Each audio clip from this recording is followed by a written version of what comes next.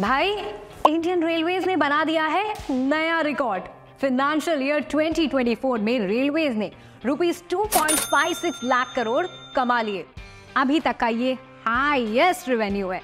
सिर्फ़ यही नहीं it also recorded highest ever freight loading of 1,591 million tonne at the same time railway electrification touch 7,188 kilometre plus 5,300 kilometres of new lines, doubling and gauge conversion of old lines भी railway की ये साल की achievements में से एक है। This will definitely benefit you and me but सबसे ज़्यादा फ़ायदा फ्रेट ट्रांसपोर्टेशन को होगा। गुड्स की मूवमेंट फास्ट होगी and that will help in reducing transportation cost and time so ऐसे मौके पे चार बेस्ट रेलवे कंपनीज़ के बारे में जान लेते हैं।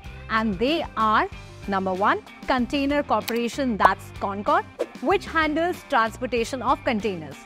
Second, RVNL or Rail Vikas Nigam Limited actually constructed rail lines. Three, Titagar Rail Systems, a leading wagon and coach manufacturer. And four, Rights Limited, brains behind all infra development. That is a consultancy wing. Let's compare their performances. Financial year 14 में ये थे उनके sales figures. Titagar earned rupees 624 crores, Rights ne 1096 crores, RVNL rupees 2494 crores and Concord the highest at rupees 5231 crores. Financial year 14 से financial year 24 तक rights and conquer के revenues दो गुना हुए हैं while टीटागढ़ के सिक्स टाइम्स एंड आरवीएनएल के nine times which now leads in revenue amongst these four companies.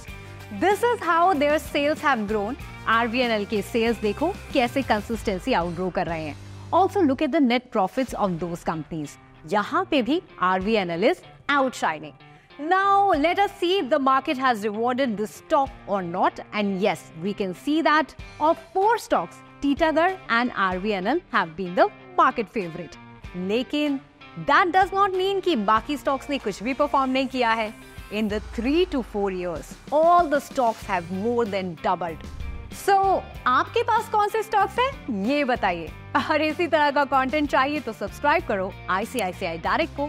Don't forget to like and share this video investment in securities market are subject to market risk read all the related documents carefully before investing